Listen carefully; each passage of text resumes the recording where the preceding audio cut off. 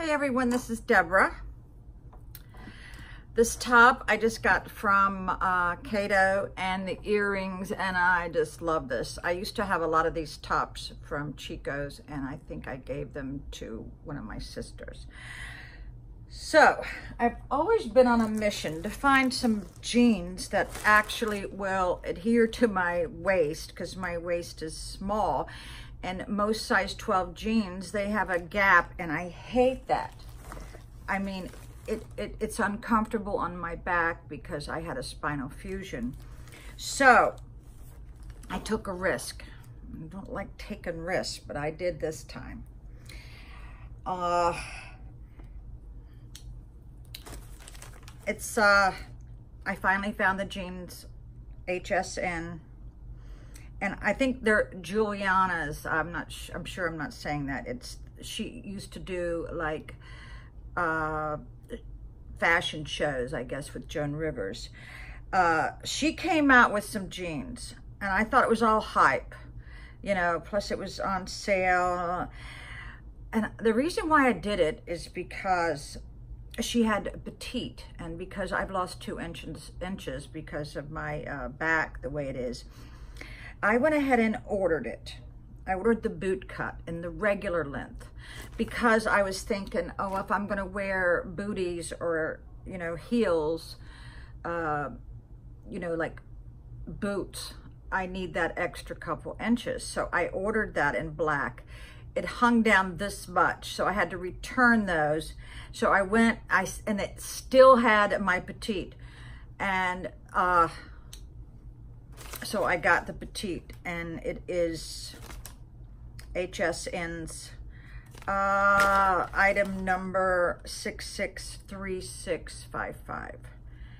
It is called the GBG Sculpt Boot Cut in True Black Petite 12. Okay, so let's take a look at this. Now I've already, like I said, tried on the regular size.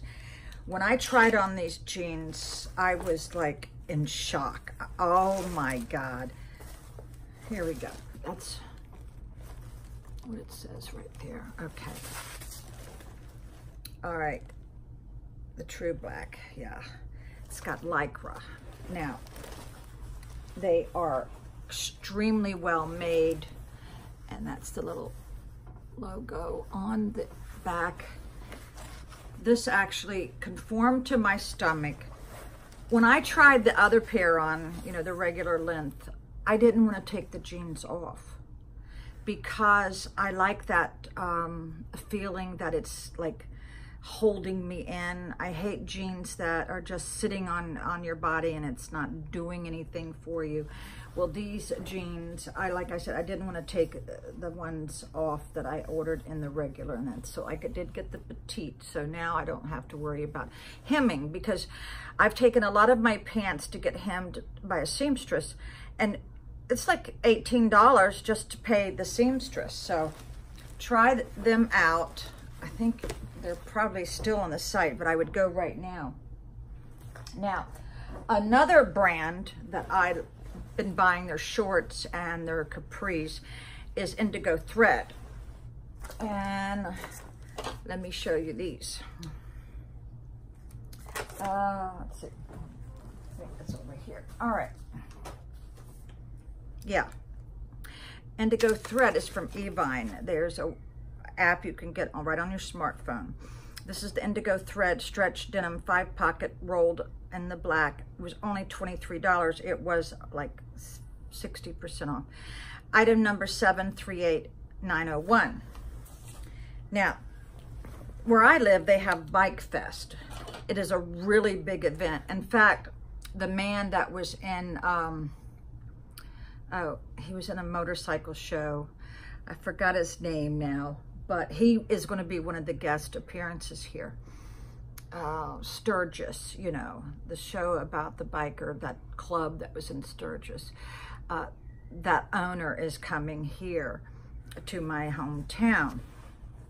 So I have to get things that are kind of, you know, rock, rock starish. So here it is. This has got the torn look. And it doesn't really show any skin because it's got, I'll show you, put my hand in there and it, it's the patches are well covered, you know, so my knee's not hanging out.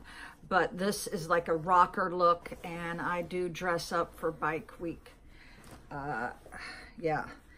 And I think it's cute where they got the little worn places on the pocket. Yeah. So if you have tr trouble with jeans, uh, go and get the ones by Giuliana. I'm, I'm afraid you will love it. Um, even if you can't get the sale price, I would still get the jeans. Um, the jeans I used to love from Chico's, they don't make it anymore. So, but I've taken very good care of my clothes and I've had them for 10 years. So the thing about all my clothes, I wear every one of them. And the ones that I haven't worn in three years, I do give away to my daughter because she's the only one in my family that's my size that I know of at the moment. But a lot of people fluctuate in weight. But I wanted to reiterate what happened to me yesterday. If you watched any of my videos, I um, found out from my doctor my hearing is gone. Uh, and I have to read lips uh, he did the test. And I asked him, I said, one out of 10, where am I at on that scale? He says, honey, you're negative four. And um, I only heard like two tones the whole time he had that de listening device in there. And he kept it in there for like four minutes. I only heard two tones, so that's not good. So I put a little uh, thing out there to you guys if you have someone who's passed and they have uh, their hearing aids laying around, send one to me. Um, yeah, send one to my post office box. Uh, yeah, I got, uh, my last recording, I said a storm is coming. Well, I had an hour drive home, and let me tell you what, it was the worst storm I've ever been caught in. Uh, the, the regular speed limit was 55. I had to go 20, and I had a whole lot of people behind me because I have wiped out when I was first married. I had a 66 convertible Mustang, and uh, my husband at the time put on racing slicks. Dumb, dumb, dumb. And I spun out, turned the car upside down with a convertible, and uh, it was totaled and um, so I hit a water pocket. So when I see water pockets, it just frightens the hell out of me. So I was hitting water pockets that was, I guess, this deep. I mean, it was it was extremely terrifying. Lightning was the worst. It was lightning all around my car. A lot of other people in my community, you know, posted on our community website that they got caught in it too it was horrific. Uh, the last time I got caught into a water, uh, a huge rain pour, I had to stay at my granddaughter's. I had to spend the night in that haunted chair. Yeah. Uh, so this is one of my favorite drinks. Uh, where I live at is the Northern Neck, in case you didn't know. And we are famous for crabs, seafood, and Northern Neck ginger ale and I always get the diet because I have to watch every calorie. Uh, but the good news is I've lost two pounds since my last bloodletting, I call it. Let's see, I think I still have, yeah, I still have my thing. I couldn't sleep last night, even though he took me off of Ambien. I couldn't sleep last night. Um, and he started me on something else. Uh, he started me on trazodone, which I've taken when I was, uh, you know, in a very bad marriage. I would take this sometimes. But he said that is better than Ambien because you should not be on Ambien for more than a couple weeks, only five milligrams if you're a woman. I was on it for 12 years. I kept wondering why I was waking up with a very bad headache. Well, now I know it's, it was the Ambien. You should not be on it, you know. Oh my God, this is so good. This is excellent. Yeah, it's got real ginger in it. So, I also wanted to talk to the ladies out there. I am on a website to help women and men who are in a troubled relationship. I I remember what it was like for me at the beginning of finding out, you know, what was wrong with my marriage. And I know this sounds stupid or silly, but a lot of women and men don't know they're being abused. And uh, so I go on there and I send them links to my YouTube channel and uh, some early signs for me was when your partner is missing and they don't come up with an explanation of where they're at, or you know that they're telling a fib, that is an early warning sign.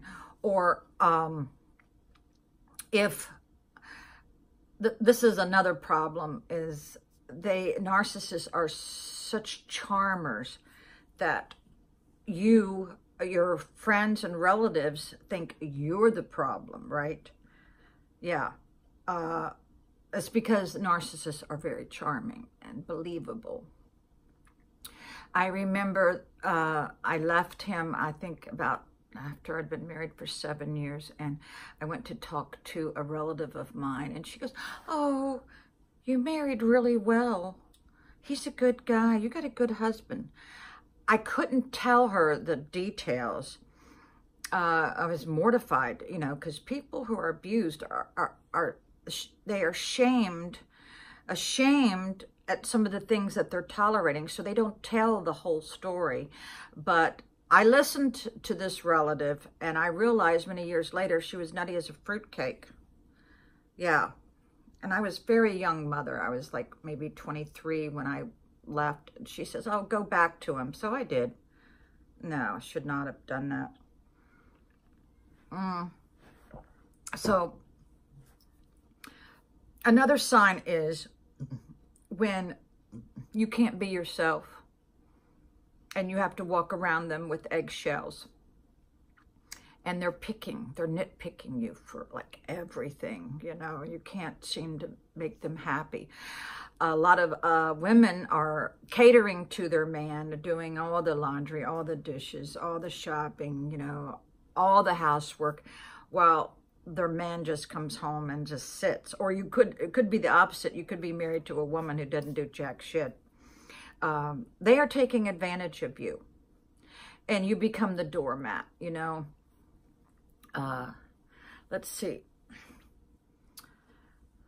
Another red flag that you're being abused if it's when you have to keep a secret when you know that something is going on in your marriage and you can't tell anybody because that happened to me. I couldn't tell anybody about the abuse because i knew number one they were going to judge me.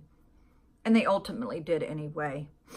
Uh, i was too embarrassed about the abuse because uh, if and i just learned this the other day if you know your partner is abu abusing your children and you know about it, your children can be taken away from you because you are tolerating that. You, you were aware of this, you know.